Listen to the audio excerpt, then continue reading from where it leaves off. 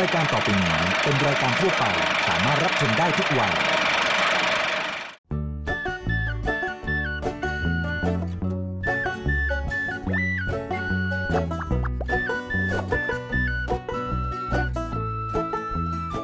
เป็นคนกรุงเทพแท้ๆนะ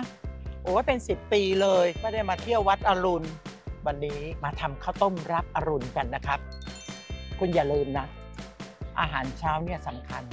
รุ่นเราอะกินอะไรนิ่มๆอะอร่อยทุกอย่างละค่ะ ว้าว มาดูสิคะ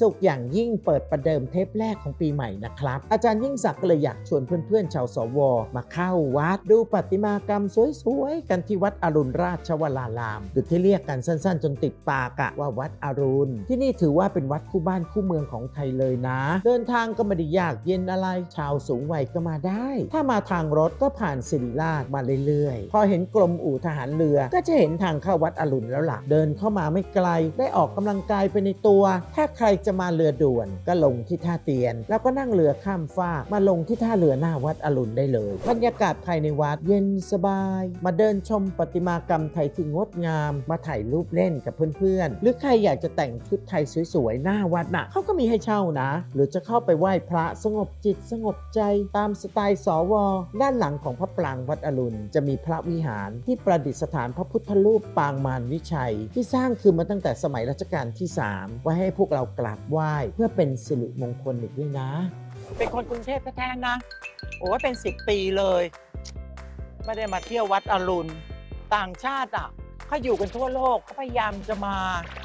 วันนี้สุขภาพจิตดีมาก มีความสุขอิ่มเอมใจ เดี๋ยวเราไปทำอะไรให้สุขภาพกายเราดีดีไหม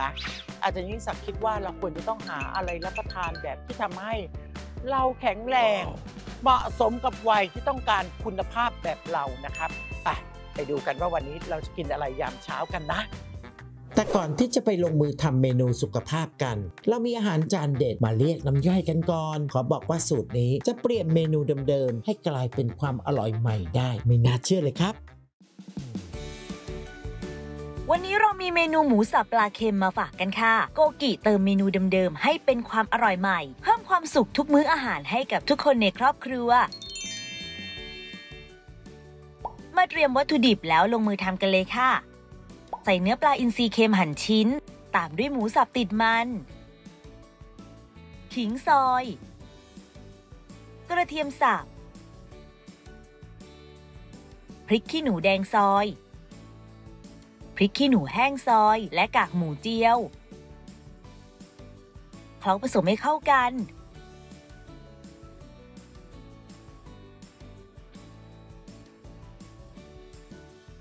ปรุงรสด้วยพริกไทยป่นและน้ำมันงา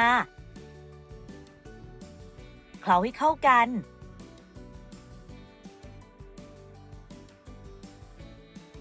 เติมแป้งประกอบอาหารราโกกิ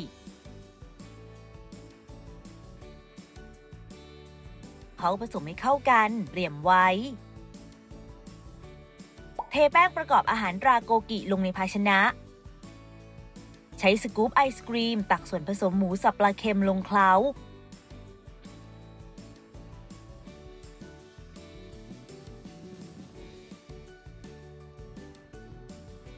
จากนั้นใช้มือกดให้แบนเล็กน้อยเตรียมไว้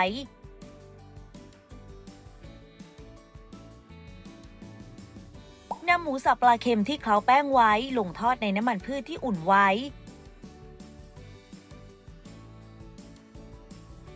ทอดจนกระทั่งสุกกรอบ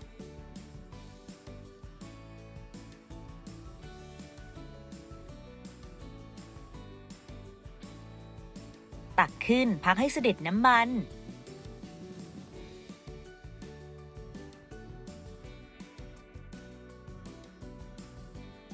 จัดหมูสับปลาเค็มลงในภาชนะ รับประทานกับพริกขี้หนูแดงซอย หอมแดงซอย พริกขี้หนูแห้งทอดกรอบและแตงกวากากหมูเจียว ผักชีและข้าวหอมมะลิหุงสุก พร้อมเสิร์ฟแล้วค่ะกับเมนู หมูสับปลาเค็ม กรอบอร่อยทันสมัยใช้โกกินะคะ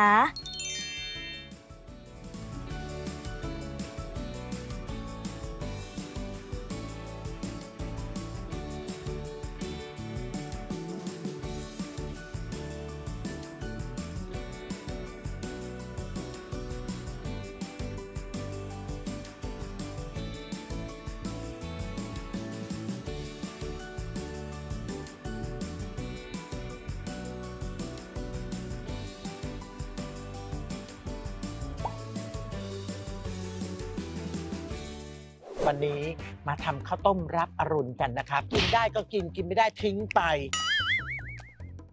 เปลือก ใส่สองชิ้นอีกชิ้นหนึ่งกิน